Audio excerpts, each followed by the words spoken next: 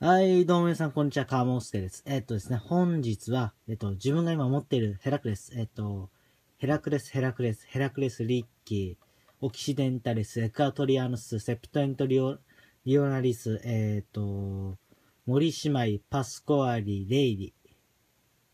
えっとですね、えっと、この8種。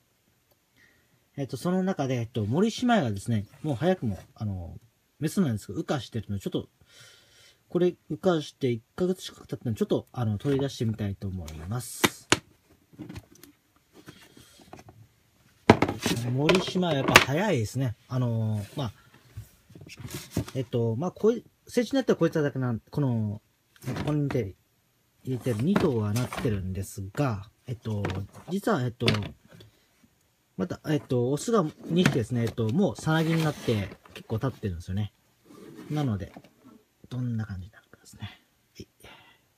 と。で、それが、これが、自分も、あの、今まで開けてないので、どんな状態なのか自分もわかりません。えっと、よし。うん。完璧、あだ。完璧みたいですね。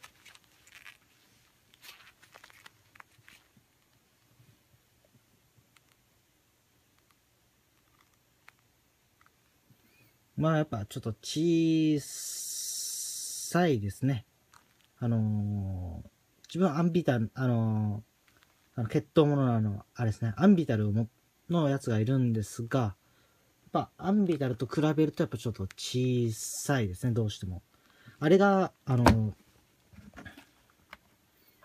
72ミリあるんですよ。で、こっち多分60ミリちょっとなんで、ちっちゃいですね。森島がもともと大きくないので、やっぱこんなもんだと思うんですけど。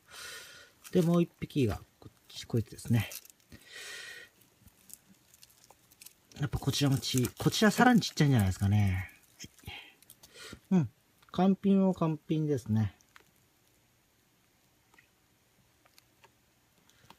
うん、やっぱちょっと小さいですね。残念ながら小さいです。これもやっぱ60ミリちょっとでしょうね。いまい自分はメス、森島とかのメスの見分け方がよくわかんないですからね。まあ、多分、標準版とか見ればわかるんでしょうけど、どこで見たらいいのかな多分ネプチューンなんかだと、あの、この毛で、あの、ネプチューンとあと、ネプチューン足のローチ。それなんか、まあ、オスだとこの毛の後ろ、お尻の毛で見分けられるっていう話なんですが、ちょっと、どうなんですかね、ヘラクレスだと。ちょっといまいちまだ、ヘラクレス、数よく、よ、あの、数多くは見てないので、ちょっと、わかんないんですけどね。あ、作法、やっぱ森姉妹を、あの、どちらかと小型種なの、小型種っていうか、ま140ミリちょっとぐらいなので、やっぱ、140ミリちょっとなんで、あの、大きくてもオスが。やっぱそれに従って、やっぱちょっとちっちゃめはちっちゃめですね。デイリーだと結構、あのあんま変わらないぐらいになるんですけどね、普通のヘラヘラと。うん、まあ、そういうことですね。えっと、これで、えっと、森姉妹の、えっと、割り出し動画終わります。長く楽しいブリードライフを送るために、ストップ、放中。